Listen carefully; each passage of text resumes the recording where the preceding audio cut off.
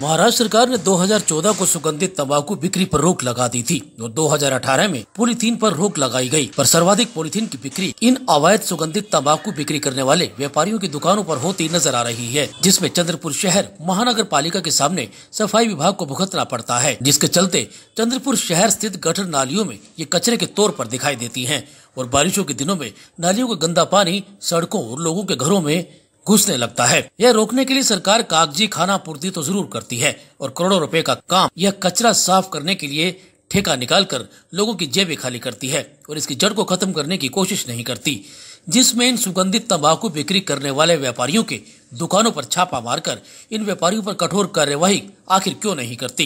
ये सारे सवाल यहाँ के नागरिकों के जहन में हमेशा दस्तक देते रहते हैं। अप्रैल 2014 से सुगंधित तंबाकू के ऊपर सरकार ने बैन लगाई, क्योंकि तंबाकू जन्य पदार्थ खाने से जो शरीर की हानि हो रही, इसके लिए उन्होंने बैन लगाए।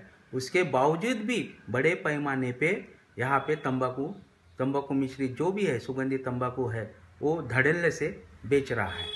अब इसमें यह सवाल पैदा हो रहा, क्या इसमें साठगांठ किसकी है? बयान लगने के बावजूद भी मेरे ख्याल से ऐसा लगता है कि अधिकारी, जो बयान लगाने वाले अधिकारी है और व्यापारियों के बीच मिली भगत के वजह से ये सब गोरख धंधा चालू है। तो इसके लेकिन उनका क्या है मालूम नहीं, क्या है काला बेरा अपने को कुछ भी मालूम नहीं। लेकिन इस वजह से हमको बहुत तकलीफ़ हो रही। सामान्य जनता जो है, यहाँ खर्रा खाते हैं, प्लास्टिक की पन्नी, प्लास्टिक की पन्नी के ऊपर भी है ना बैन लगाए। उसके बावजूद भी प्लास्टिक की पन्नी चालू है खर्रे के लिए। तो इसका कितना तकलीफ़ हो रहा है लोगों को? वहाँ लोग खर्रा खाते हैं जगह जगह थूकते हैं। वो थूकने से तो सबसे बड़ी बीमारी फैलती है। छोटे बच्चे खेलते रहते, पन्नी आते, पन्नी कहीं पर भी फेंक देते। कन्नी फेंकने के कारण जानवर उसको खा जाते, जानवर की तबीयत खराब हो जाती है। पन्नी अगर नाली में गई तो नालियाँ चौकअप होते तो इसका जिम्मेदार कौन है?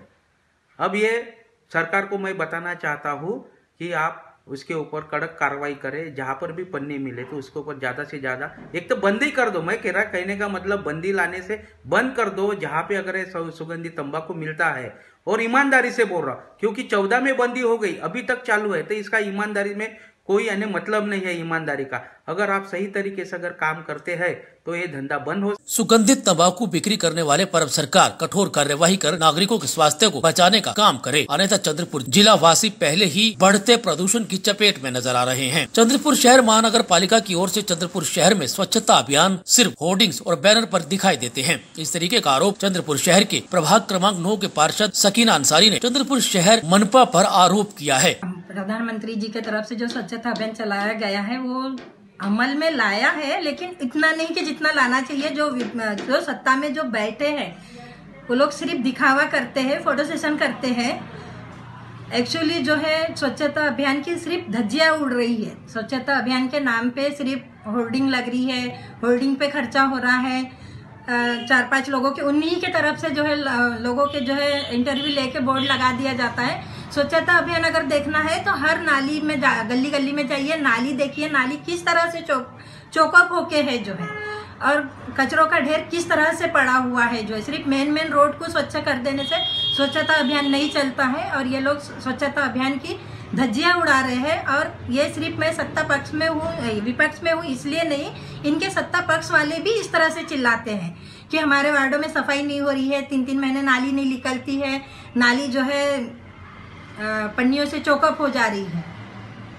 इस तरह से। पन्नी को तो 2017 में बैन किया गया था उसके बावजूद भी क्या पन्नी 2017 में बैंड हुई सिर्फ़ नाम के लिए हुई ये सिर्फ़ गवर्नमेंट की कमाई का एक ज़रिया है और गरीबों को तंग करने का ज़रिया है। अगर गवर्नमेंट में इतनी ताकत है तो उसने डायरेक्ट जो है अगर आज हर सत्ता में हर जगह पे महाराष्ट्र में बोलो चाहे सेंट्रल में या केंद्र में उन्हीं की सत्ता है। अगर ये बंद करना चाहते हैं पन्नी तो पूरी तरह से बैन करना चाहिए कंपनी और ठेकेदारों पे।